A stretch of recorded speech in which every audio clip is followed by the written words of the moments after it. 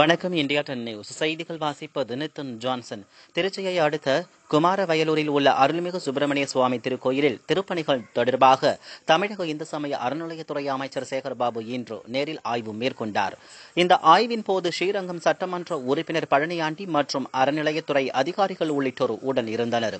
இதனைத் தொடர்ந்து செய்தியாளர்களை சந்தித்து பேசிய அமைச்சர் சேகர்பாபு தமிழகத்தில் உள்ள திருக்கோவில்களில் பணிகளை மேற்கொள்ள தேவைப்படும் நிதிகளை அந்த கோவிலின் வருமானம் வாயிலாக மேற்கொண்டு ஆன்மீகத்திற்கு முக்கியத்துவம் கொடுக்க முதல்வர் அறிவுறுத்தியுள்ளார். பக்தர்களின் அடிப்படை தேவைகளை பூர்த்தி செய்ய ஆய்வு மேற்கொண்டு அதனை ஏற்பாடு செய்ய முதல்வர் அறிவுறுத்தியுள்ளார். வயலூர் முருகன் கோவிலில் பல்வேறு இடங்களில் புனரமைப்பு பணிகள் மேற்கொள்ள இருக்கிறது. வாரியர் மண்டபம் மற்றும் வள்ளி மண்டபத்தை முறையாக புனரமைப்பு செய்ய வழிவகை செய்ய உள்ளோம். முக்கிய கோவில்களில் இந்துக்கள் மட்டுமே அனுமதி என்கிற போர்ட் அகற்றப்படுமா? காலம் காலமாக உள்ள சில நடைமுறை இது. எனவே சட்ட வல்லுநர்களிடம் கலந்து பேசி கோவிலில் உள்ள தலைமை குருமார்களிடம் கலந்து பேசி இதனை சரி செய்ய வழிவகை செய்வோம். ஸ்ரீரங்கம் கோவிலுக்கு வந்த நடன கலைஞர் ஜாகிர் ஹுசேனை தடுத்த ரங்கராஜன் நரசிம்மன் விவகாரத்தில் இது குறித்து காவல்துறையினரிடம் கோவில் இணை ஆணையர் புகார் வழங்கியுள்ளார். ஜாகிர் ஹுசேனும் புகார் அளித்துள்ளார். காவல்துறை ஒருபுறம் விசாரணை நடத்தி வரும் அதே நேரத்தில் இணை ஆணையர் தலைமையில் திருக்கோவிலின் சார்பில் விசாரணை நடத்தி அறிக்கை கேட்டுள்ளோம். ஓரிரு நாளில் அறிக்கை பெற்று அரசிடம் கலந்து பேசி நடுநிலையோடு அதில் நடவடிக்கை எடுப்போம். கோவில்களில் அறங்காவலர்கள் குழு நியமனம் குறித்து பத்து ஆண்டுகளாக இது கிடப்பில் போடப்பட்ட விஷயம். எனவே இதனை உடனடியாக சரி செய்ய முறைப்படி நீதிமன்ற வழிகாட்டல்களோடு அறங்காவலர் குழு தலைவர்கள் நியமனம் செய்யப்படுவார்கள்.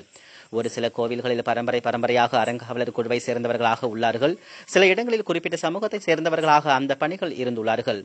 எனவே இதனை அனைத்தையும் ஆய்வு செய்து தற்போது முன்னூறு கோவில்களில் மட்டும் முதற்கட்டமாக அறங்காவலர்கள் நியமிப்பது தொடர்பாக அறிவிப்பை வெளியிட்டுள்ளோம். அதேபோல் இந்த விவகாரத்தை பொறுத்தவரை கமிட்டி ஒன்றை அமைத்துள்ளோம். அந்த கமிட்டி முறைப்படி விசாரணை செய்து இந்த நியமனம் குறித்த தகவல்களை அளிப்பார்கள். எனவே அறங்காவலர் குழு நியமனம் என்பது முறைப்படி நேர்த்தியாக நடைபெறும்.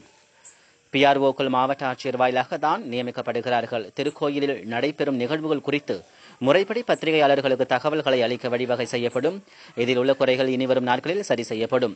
ஸ்ரீரங்கத்தில் உள்ள பல்வேறு பிரச்சனைகளை ரங்கராஜன் நரசிம்மன் ஆதாரத்தோடு எடுத்து கூறி வருகிறார். இது குறித்த கேள்விக்கு முறையான புகார்களை நாங்கள் கண்டிப்பாக ஏற்று நடவடிக்கை எடுப்போம். ஆனால் அதே நேரம் பிரிவினைவாதத்தை ஏற்படுத்தும் எந்த ஒரு கருத்தையும் இந்து சமய அறநிலையத்துறை ஏற்றுக்கொள்ளாது. இந்த ஆட்சி பொறுப்பேற்ற தமிழகம் முழுவதும் ஐநூற்று நாற்பத்தி ஒரு கோவில்களில் திருப்பணிகள் மேற்கொள்ள அனுமதி வழங்கி பணிகளை துவக்கியுள்ளோம் அதேபோல் விரைவாக பணிகளை முடித்து கும்பாபிஷேகம் செய்ய ஏற்பாடுகளை செய்வோம் என்று கூறினார்.